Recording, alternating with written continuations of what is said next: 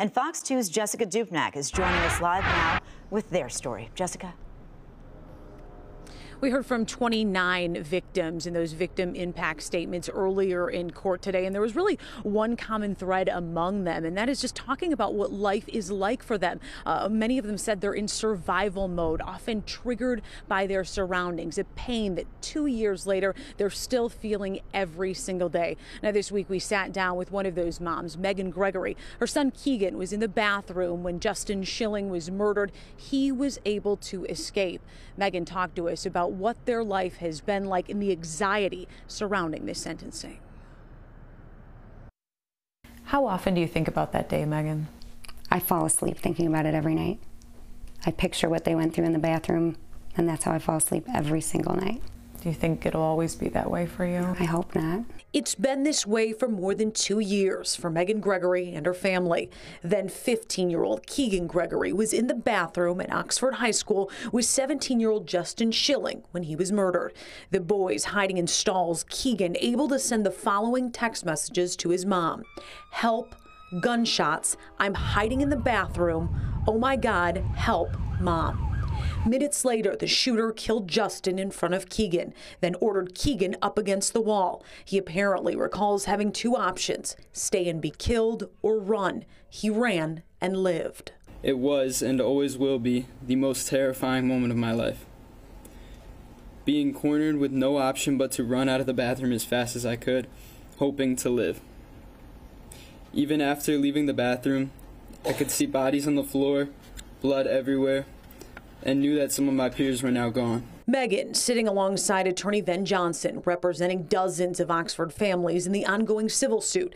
The focus this week is the convicted killer facing his punishment and dozens of victim impact statements, including Keegan's, the second time he has to be in the same room as the shooter. As much as I want this to give all of us closure, it will give us a sense, I think, of some relief, but I truly feel like we're not going to have relief until we know the entire truth of what happened that day. Megan is referring to the recent independent report by Guidepost Solutions of the now proven failures that the district did not provide a safe environment for students, and the blame is aimed at the superintendent, his cabinet, and the school board. The report bubbling up even more questions, hindering closure for this family. I want all of my kids to just be able to live a normal life.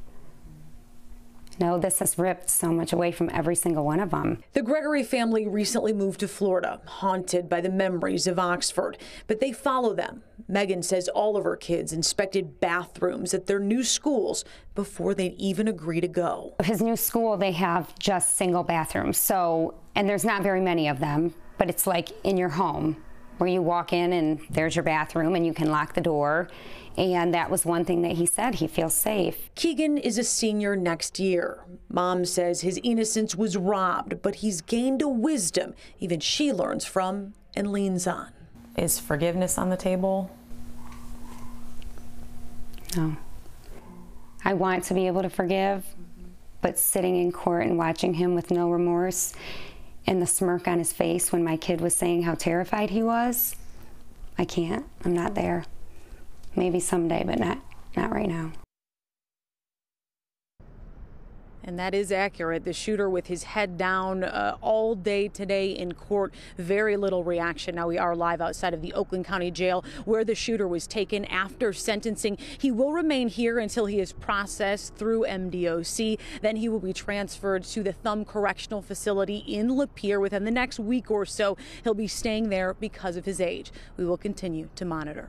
Reporting live in Pontiac, Jessica Dupnack, Fox 2 News. And of course, Jessica, we saw that mom sitting next to Ven Johnson, the attorney who is taking on many of these civil cases. Much more to come as we move forward.